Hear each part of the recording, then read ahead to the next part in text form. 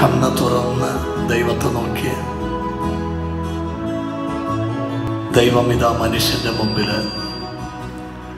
ഞാൻ ജീവന്റെ അപ്പമാണ് എന്ന് പറഞ്ഞ ഈശോ രണ്ടായിരം വർഷങ്ങൾക്കപ്പുറം സ്വർഗം വിട്ട് ഭൂമിയിലേക്ക് ഇറങ്ങി വന്ന ദൈവപുത്രൻ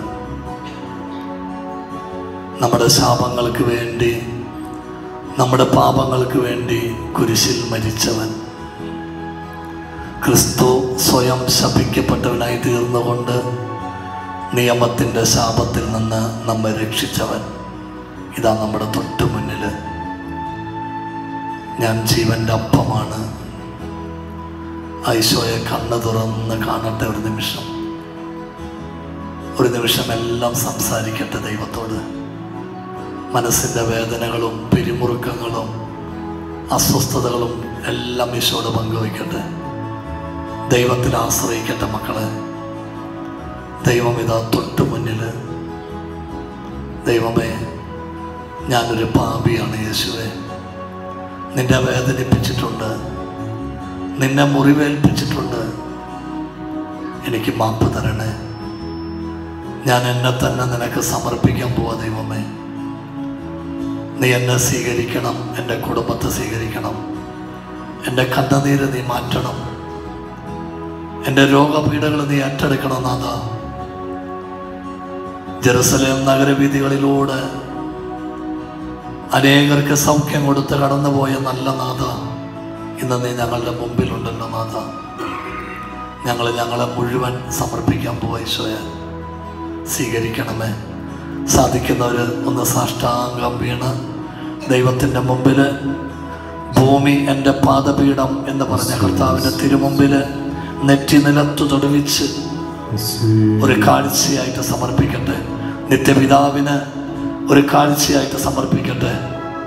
ഒന്ന് കരയ ദൈവത്തിന്റെ മുമ്പിൽ ഒന്ന് സങ്കടം അറിയിക്കുക ഈശോയുടെ മുമ്പിൽ അപ്പാ അപ്പാ നിന്റെ മക്കൾ ഇതാ പ്രാർത്ഥിക്കുന്നു. രഹസ്യ ദുഃഖങ്ങളുണ്ട്. മക്കളെ കുറിച്ച് വേദനയുണ്ട്. കടബാധ്യതയുണ്ട്. ഇന്ന് വരെ ഉണ്ടാക്കിയതെല്ലാം നഷ്ടപ്പെട്ടവരുണ്ട്. ആരുമില്ല ദൈവമേ. പ്രായമായി വയസ്സായി. ഇപ്പൊ ആർക്കും എന്നെ വേണ്ട. ഇന്ന് ഞാൻ അസ്വസ്ഥതയോടുകൂടി വന്നിരിക്കും നിന്റെ മുമ്പിൽ ഞാൻ പാപിയാണ് യേശുവേ.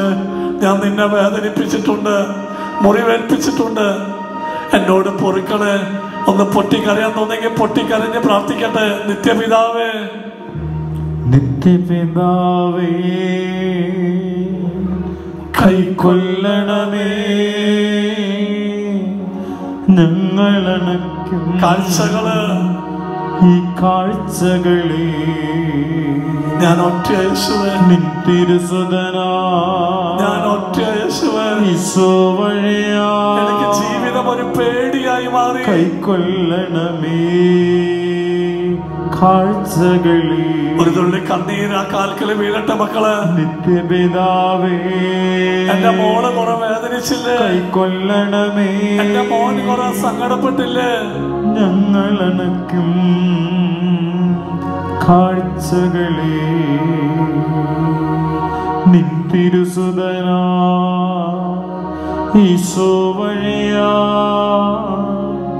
കൈക്കൊള്ളണമേ.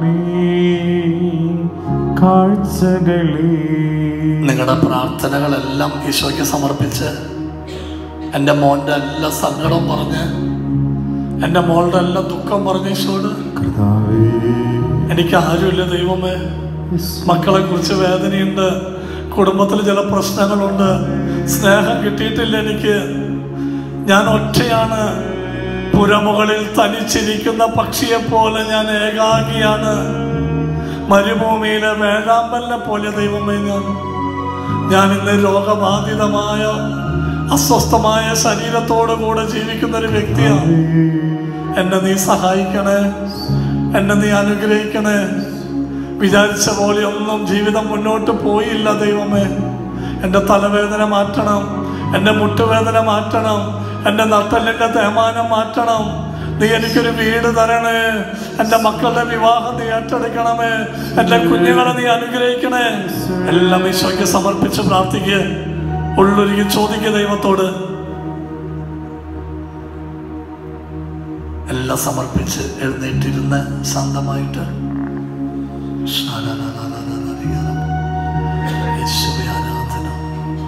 ശാന്തമായിട്ടിരിക്കുക.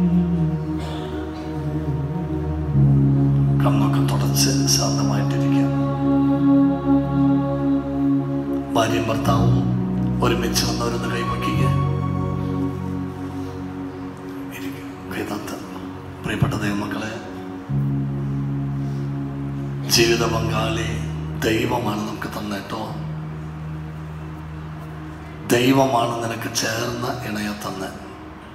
ഇന്ന് അനേകം കുടുംബങ്ങളിൽ അസ്വസ്ഥതകൾ ഭാര്യയും ഭർത്താവും ആ സ്നേഹം പ്രകടിപ്പിക്കാത്തതാണ്. ഒറ്റപ്പെട്ട് കഴിയ ചിലർ എല്ലാവരും ഉണ്ടെന്നാൽ ഒറ്റ. ദൈവത്തിന്റെ തിരുവചനം തോപ്യത്തിന്റെ പുസ്തകത്തിൽ പത്താം അധ്യായം പന്ത്രണ്ടാമത്തെ തിരുവചനം. തോബിയാസ് തോപ്യത്തിന്റെ മകൻ തോബിയാസ് സാറായെ വിവാഹം കഴിച്ചു. വിവാഹം വിരുന്ന് കഴിഞ്ഞ് ഈ മകൾ മരുമകന്റെ കൂടെ വീട്ടിലേക്ക് പോവാം. ആ സമയത്ത് അപ്പൻ രഘുവേൽ ഈ സാറായുടെ അപ്പൻ മോൾക്ക് കൊടുക്കുന്ന ഒരു നിർദ്ദേശമുണ്ട്. തോപിത്ത് പത്ത് പന്ത്രണ്ട് അത് ദൈവത്തിന്റെ ഒരു നിർദ്ദേശമാണ്. എന്റെ മകളെ നിന്റെ ഭർത്താവിന്റെ മാതാപിതാക്കളെ നീ ബഹുമാനിക്കുക. അവരാണ് ഇനിമേൽ നിനക്ക് മാതാപിതാക്കൾ അപ്പൻ മോൾക്ക് കല്യാണം കഴിഞ്ഞ് പോകുമ്പോൾ പറഞ്ഞു കൊടുക്കുന്നൊരു വചന. നിന്റെ ഭർത്താവിന്റെ മാതാപിതാക്കളെ നീ ബഹുമാനിക്കുക. അവരാണ് ഇനിമേൽ നിന്റെ മാതാപിതാക്കൾ ഒരു ഭാര്യയുടെ കടമയത് പ്രിയപ്പെട്ട ദൈവമക്കളെ അതുവരെ അവളുടെ അപ്പനും അമ്മയൊക്കെ അവളെ പരിപാലിച്ചു എന്നാൽ ഒരു പുതിയ അപ്പനും അമ്മേനെയും ദൈവം അവൾക്ക് കൊടുക്കുക. അതുകൊണ്ട് ഭർത്താവിന്റെ മാതാപിതാക്കളെ ബഹുമാനിക്കണം. എന്തെങ്കിലുമൊക്കെ വേദനിപ്പിച്ചെങ്കിൽ മാപ്പ് ചോദിക്കണം. എന്തെങ്കിലുമൊക്കെ അസ്വസ്ഥപ്പെടുത്തിയിട്ടുണ്ടോ മാപ്പ് ചോദിക്കണം. അതുപോലെ തന്നെ അമ്മായിയമ്മമാരും ഒരിക്കലും വരും മക്കളെ വേദനിപ്പിക്കാൻ പാടില്ല. അന്യ വീട്ടിൽ നിന്ന് കെട്ടിക്കൊണ്ടുവന്നൊരു മോൾ അവളൊരിക്കലും പീഡിപ്പിക്കാൻ പാടില്ല. ഞാൻ നേരത്തെ പറഞ്ഞില്ലേ നമ്മൾ ഒരു പ്രായം വരുമ്പോൾ മലവിസർജനം ചെയ്തും എണീക്കാൻ പറ്റാത്തൊരവസ്ഥയിലേക്കൊക്കെ വരുമ്പോൾ ആ മരുമോൾ തന്നെ നമുക്ക് ഉണ്ടാവുള്ള സഹായത്തിന് വേണ്ടിയിട്ടോ? അതുകൊണ്ട് ഒരു മരുമക്കളെയും വേദനിപ്പിക്കരുത്. ഒരു വേദനിപ്പിക്കരുത്. നമ്മളതൊക്കെ മാപ്പ് ചോദിക്കുക അത് കഴിഞ്ഞ് ഏതന ഏതന എന്ന് പറയുന്നത് ഈ സാറയുടെ അമ്മ. നമ്മൾ പണ്ട് കല്യാണം കഴിഞ്ഞ് ഈ ഭർത്താവിന്റെ വീട്ടിലേക്ക് ചെല്ലുമ്പോൾ ഭാര്യയുടെ അമ്മ ആ മോളെ മോളുടെ അമ്മ മോളനെ പിടിച്ച് ഏൽപ്പിച്ചു കൊടുക്കുന്ന ഒരു ചടങ്ങുണ്ട് അല്ലേ ആരെയും ഏൽപ്പിച്ചു കൊടുക്കുക ആരുടെ കയ്യിലാണ് ഈ മോളുടെ അമ്മ മോളെ ഏൽപ്പിച്ചു കൊടുക്കുക പറഞ്ഞേ? പറഞ്ഞേ? ആരുടെ ആരുടെ മാതാപിതാക്കളുടെ കയ്യിലാണ് ഭർത്താവിന്റെ മോൾക്ക് വേണ്ടി നിശ്ചയിച്ച ഭർത്താവിന്റെ ഞങ്ങളുടെ നാട്ടിലൊക്കെ ഭർത്താവിന്റെ അമ്മയുടെ കയ്യിൽ മരുമോന്റെ അമ്മയുടെ കയ്യിൽ ഏൽപ്പിച്ചു കൊടുക്കും. ആരെ ഏൽപ്പിച്ചു കൊടുക്കാന്നറിയാം? മകളുടെ ഭർത്താവ്. ഏൽപ്പിച്ചു കൊടുക്കുമ്പോൾ എന്താ പറയുക പറഞ്ഞോ? എന്റെ മോളെ നന്നായി നോക്കിക്കോളോ. തെറ്റും കുറ്റമൊക്കെ ഉണ്ടെങ്കിൽ ക്ഷമിച്ചോളോ. അത് വല്ലാത്തൊരു ഏൽപ്പിച്ചു കൊടുക്കലാട്ടോ. ഇരുപതും ഇരുപത്തിമൂന്ന് ഇരുപത്തിനാല് കൊല്ലം വരെ വളർത്തിയുണ്ടാക്കി തന്റെ മോളെ ചങ്ക് പറിച്ച് വെച്ചു കൊടുക്കുക ഒരു കുടുംബത്തിലേക്ക്. വല്ലാത്തൊരു വിഷമം അത്. എന്റെ മോളെ നോക്കിക്കോളോ. തെറ്റും കുറ്റം കൊണ്ട് ക്ഷമിച്ചോളോ. ഇതുപോലെ ഏതന എന്ന ഈ സാറയുടെ അമ്മ വിവാഹ വിരുന്ന് കഴിഞ്ഞ് മരുമകൻ മോളെ കൊണ്ടുപോകുന്ന നേരത്ത് അമ്മ മോളെ പിടിച്ച് ഭർത്താവിന്റെ കയ്യിൽ ഏൽപ്പിച്ചു കൊടുത്തിട്ട് പറയുന്ന വചനമാണ് അടുത്ത വചനം. തോപിത്ത് പത്ത് പന്ത്രണ്ടിൽ അടുത്ത വചനം. അതിങ്ങനെയാണ് ഏതന പറഞ്ഞു? സഹോദര നിങ്ങളുടെ യാത്രയിലെ കർത്താവ് നിങ്ങളെ അനുഗ്രഹിക്കട്ടെ. സുരക്ഷിതമായിട്ട് തിരിച്ചു വരാൻ ദൈവം നിങ്ങളെ അനുഗ്രഹിക്കട്ടെ. എന്നിട്ട് അമ്മ പറഞ്ഞൊരു വാചകമുണ്ട് എന്താണെന്നറിയോ? മോളെ പിടിച്ച് ഏൽപ്പിച്ചു കൊടുത്തിട്ട് പറയുക എന്റെ മകളെ നിന്റെ കയ്യിൽ ഭാരമേൽപ്പിക്കുന്നു നീ അവളെ നീ അവളെ ദുഃഖിപ്പിക്കരുത്. എന്റെ പുത്രിയെ നിന്റെ കയ്യിൽ ഭാരമേൽപ്പിക്കുന്നു നീ അവളെ ദുഃഖിപ്പിക്കരുത്. കല്യാണം കഴിച്ച ദിവസം ഓർത്ത് ഭാര്യമാര് ഒന്നോർത്ത് നോക്കിക്കേ. പണ്ട് കാലത്ത് ആ ഭാര്യയുടെ അടവപ്പള്ളി വെച്ച് കെട്ട് നടന്നു. അത് കഴിഞ്ഞ് ഭാര്യയുടെ വീട്ടിൽ വെച്ച് ഭക്ഷണം അവിടെ മന്ത്രമോടി കൊടുത്ത് ആഭരണ വിഭൂഷിതമായി ചെറുക്കന്റെ വീട്ടിലേക്ക് ഒരു യാത്ര. ഓർമ്മയുണ്ടോ? ആ യാത്ര പോകുന്ന സമയത്ത് എല്ലാവരും പറയും മോളെ ഒന്ന് പ്രാർത്ഥിച്ചിട്ട് ഇറങ്ങടി. എന്നും പ്രാർത്ഥിക്കുന്ന ഈശോയുടെ തിരുഹൃദയത്തിന്റെ മുമ്പിൽ ആ മാതാവിന്റെ മുമ്പിൽ അവൾ നിന്നു ആഭരണ വിഭൂഷിയായി മന്ത്രമോടി കൊടുത്ത്. അവൾ പറഞ്ഞു ഭർത്താവെ എന്നെ അനുഗ്രഹിക്കണം. ഭർത്താവിന്റെ വീട് പോലും കണ്ടിട്ടില്ല. കണ്ടിട്ടുണ്ടോ അതുവരെ മിണ്ടുന്നില്ല. ആ ഭർത്താവിന്റെ വീട്ടിലേക്ക് അവൾ പോവാ. പോകാൻ നേരത്ത് ആരോ പറയും ഒന്ന് പ്രാർത്ഥിക്കടി. ഐശോയുടെ മുമ്പിൽ നിൽക്കുമ്പോൾ അവൾ പറയും ദൈവം എനിക്കൊന്നും അറിയില്ല കേട്ടോ. പേടിയാ. അമ്മായിയമ്മയെ പേടി. അവിടെ ഉള്ളവരെ ഭയം വീട്ടുകാരെങ്ങനെയാണെന്ന് അറിയില്ല. ഭർത്താവ് എങ്ങനെയാണെന്ന് അറിയില്ല. അത് കഴിയുമ്പോൾ എല്ലാവരും പറയും നീ അപ്പന് സ്തുതി കൊടുക്കടി. അപ്പന് സ്തുതി കൊടുക്കാൻ അപ്പൻ മരിച്ചു പോയിട്ടുണ്ടെങ്കിൽ ആ ഫോട്ടോയുടെ അടുക്കൽ ചെല്ലും. അപ്പ എന്നെ അനുഗ്രഹിച്ചോളോ. കരഞ്ഞു തുടങ്ങും അവൾ. അപ്പൻ ജീവിച്ചിരിപ്പുണ്ടെങ്കിൽ അപ്പൻ അവളെ നെഞ്ചോട് ചേർത്ത് വയ്ക്കും. അപ്പൻ കണ്ണീര് നിയന്ത്രിക്കും അവൾക്ക് പറ്റില്ല. അവൾ ആ മാറിൽ ചാരി കിടന്ന് കരയും. അപ്പൻ പുറത്ത് തട്ടിയിട്ട് പറയും എന്റെ മോൾ പോയിട്ട് വാടി. അത് കഴിയുമ്പോൾ കഴിയുമ്പോൾ എല്ലാവരും പറയും അമ്മയ്ക്ക് സ്തുതി കൊടുക്ക്. അമ്മയ്ക്ക് സ്തുതി കൊടുക്കാൻ ചെല്ലുമ്പോൾ കരയാത്ത ഏത് വിവാഹിതോട് ഇരിപ്പുണ്ട്? ഓർത്തു നോക്കിയ ദിവസം. അവളെക്കാൾ മുന്നേ അമ്മ കരഞ്ഞിരിക്കും. അമ്മയും മോളും നെഞ്ചോട് നെഞ്ച് ചേർത്ത് പൊട്ടിക്കറിയുമ്പോൾ അമ്മ നൂറ് നൂറ് ഉപദേശങ്ങൾ മകൾക്ക് മോളെ നേരത്തെ വീട്ടോളോട്ടോ എല്ലാ പണിയും ചെയ്തോളോ. നിന്നെക്കുറിച്ച് നല്ലത് മാത്രം കേൾക്കണം. ബഹുമാനിച്ചോളൂ അവിടുത്തെ അമ്മേനെ അപ്പനെയൊക്കെ. നെഞ്ച് പറിച്ചിട്ട ഒരു ഭാര്യന് ഒരു മോൾ ദൈവം നമ്മുടെ കയ്യിൽ വെച്ച് തരുന്ന കേട്ടോ. വേദനിപ്പിക്കരുത് സംശയിക്കരുത് അടിക്കരുത്. അവളുടെ സ്ഥാനത്ത് വേറൊരു പുരുഷനെ ചിന്ത വേറൊരു സ്ത്രീയുടെ ചിന്തയിൽ പോലും കാണാൻ പാടില്ല. അതുപോലെ തന്നെ ഭാര്യമാരും ഭർത്താവ് നിന്റെ ഭർത്താവ് നിൻ നിനക്ക് ദൈവം തന്നൊരു നാഥനാണത്. വിധേയത്വത്തോടു കൂടി പെരുമാറണം. നീ എത്ര പഠിപ്പുണ്ടായിക്കോട്ടെ എത്ര സമ്പത്തുണ്ടായിക്കോട്ടെ സംസ്കാരവതി ആയിക്കോട്ടെ ഭർത്താവിന് കീഴിൽ തന്നെ നിൽക്കണം നീ. വിധേയപ്പെട്ട് നിൽക്കണം. പാവായി ഭർത്താക്കന്മാർ ഉള്ളിലെ ദുഃഖം ഒതുക്കി വെക്കും അവർ ആരോടും പറയില്ല. പെണ്ണുങ്ങളെ പോലെ ഇരുന്ന് കരയൊന്നുമില്ല അവർ. എല്ലാ സങ്കടം ഒതുക്കി വെച്ച് ജീവിക്കും. ഭാര്യയും ഭർത്താവും സ്നേഹമായ തന്നെ ആ കുടുംബം തിരുകുടുംബാവും മക്കളെ സ്വർഗമായിട്ട് മാറും. ഭാര്യ ഭർത്താവ് മേഘ മനസ്സ് മേഘ ശരീരമാകുന്നവരാണ് ഇപ്പൊ ഭാര്യ ഭർത്താവ് ഒരുമിച്ച് വന്നവരൊന്ന് എഴുന്നേറ്റ് നിന്ന്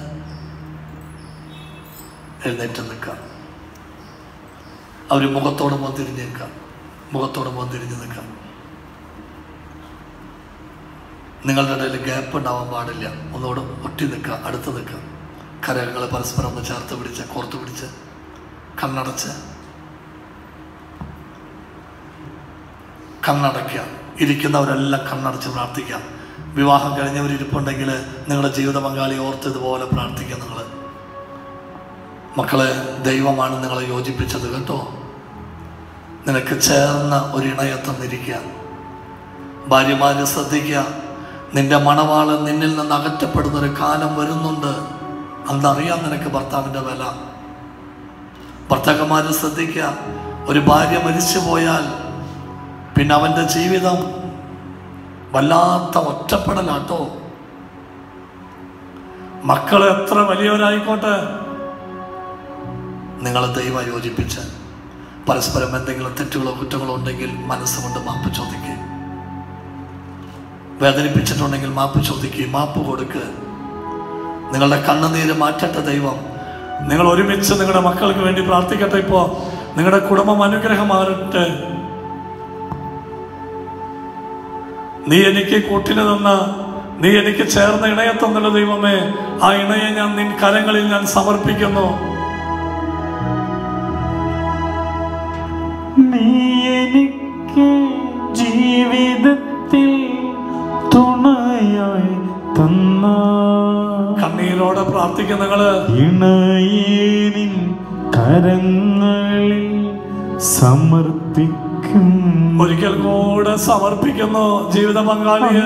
എനിക്ക് ജീവിതത്തിൽ തുണയായി തന്ന വേദനിപ്പിച്ചിട്ടുണ്ട് അവിശ്വസ്തത കാണിച്ചിട്ടുണ്ട് വഞ്ചിച്ചിട്ടുണ്ട്. കരങ്ങളിൽ ദൈവമേ അഭിഷേകം പരസ്പരം കുറവെല്ലാം ക്ഷമിച്ചാമോദം. ക്ഷമിക്കട്ടെ.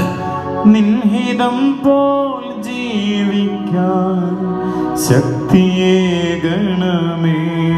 ആന്തരിക സൗഖ്യം തരണേ. ആന്തരിക സൗഖ്യമേക നീ വരേണമേ. കരഞ്ഞ് പ്രാർത്ഥിക്കട്ടെ. സുതനെ എന്നിൽ അലിവു തോന്നണം പരസ്പരം കുറവെല്ലാം സഹിച്ച് അഭിഷേകം നിറയട്ടെ. പരസ്പരം കുറവെല്ലാം ക്ഷമിച്ചാമോദം. നിൻഹിതം പോൽ ജീവിക്കാൻ യേശുവേ, അനുഗ്രഹിക്കുന്ന ദൈവമേ. ശക്തിയേകണമേ ഇങ്ങോട്ട് തിരിഞ്ഞേക്കാം ഇവിടെ